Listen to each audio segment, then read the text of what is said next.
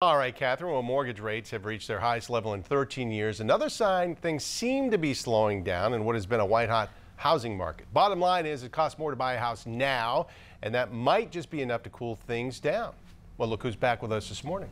It's our good friend Anthony Lamacchia, owner of Lamacchia Realty. And before we get into talking about what's going on in the market right now, we have a big announcement because you will be back for every zip trip this year, yes. starting on Fridays, July 1st, our first one in Dorchester. So excited to have you back. Well, we'll have some fun. I'm excited to be here. I, it's been seven years since you and I did this. I figured that out this morning. Although I have seen you multiple times since yes, then at various yes. things. Yeah, but. all different places like right. the airport.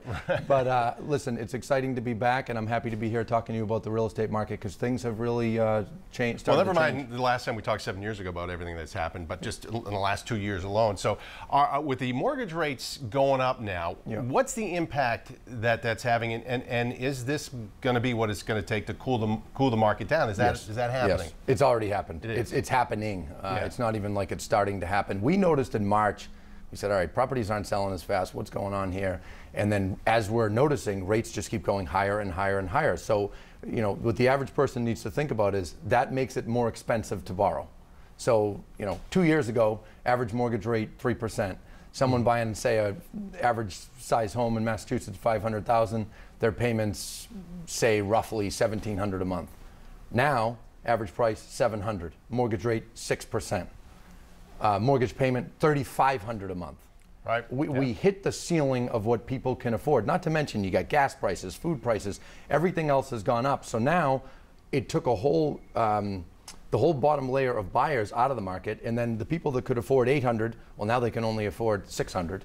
People that could afford a six is now four. It's just it's changed the game. So the impact on the market is what? Prices come down, inventory goes up. How is that going to play out here? You're right about inventory. We are seeing it start to go up, which is normal for the season, but I think it's starting to go up a little bit faster than it would, and that's because of interest rates. I don't. I'm not convinced prices are going to come down. Now, if they did, it wouldn't be a horrible thing. They've gone up 35 percent in two years. So even if they went back five or 10 percent, this wouldn't be some awful thing, but I'm not convinced it will because inventory is still too low. The only way you can have prices fall out is you have to have an oversupply of inventory. Right, right now, there's 8,000 homes for sale in Massachusetts.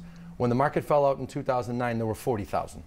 So we have to have many more homes on the market to have things go down. One of the wild things about this market is we've seen people buying homes without any contingencies, no mortgage contingencies, yep. no, no inspections, going way over yep. ask those components are those going to start to, to kind of go they away? have. They, they have already, have started to. In, yeah. in, march was when we started noticing offers were getting accepted with home inspection contingencies again mortgage contingencies again. So that's all happening. I call it like the market's in a stage of finding its equilibrium. Right. Right now eh, as we talked about right before we came on right now there's buyers that are oh, it's 08 it's not 08 it's not even close to 08 and then we got sellers I should be able to get more because the last two years I was able to every house that went for sale right. was able to overprice and some of them got away with it. Now you're not getting away with it as much. So both sides need to just chill out a little right. bit and understand that we're getting back to pre-COVID times, which was still a hot market. Right. So. You guys have always dug deep, dug deep into the numbers and do yes. the analysis. So that coupled with your gut, what's it telling you for the summer? I think that. Um, it's going to remain active this summer. Not as active as last summer. Sales will be down. But we have to remember last year there were 100,000 home sales in Massachusetts. First time in 16 years. Normally it's about 85 to 90,000. Mm. So we need to get back down to that. So right. these reports that you're going to see are going to be very confusing over the next couple months. Home prices higher than ever. Those are sales that were negotiated in the winter. Right. Then you're going to hear, but sales are down.